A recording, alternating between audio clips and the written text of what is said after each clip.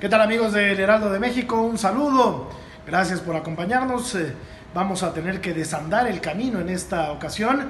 Hace algunas semanas criticábamos acremente a David Patiño, técnico de los Pumas de la UNAM, por su forma timorata, rácana de dirigir a uno de los equipos más importantes de este país, como son los Pumas de la UNAM, sobre todo después de haberse dejado empatar en aquel partido en el que tenía dos hombres más contra el América en la cancha del Estadio Azteca.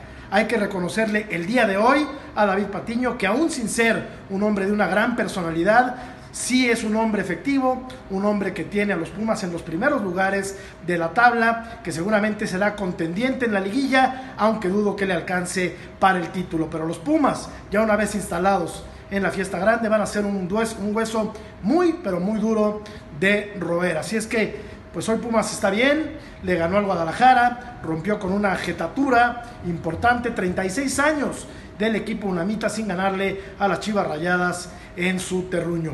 Bien por David Patiño, bien por los Pumas que están demostrando que con poco se puede hacer mucho. Así es que, pues a seguir adelante para el conjunto universitario.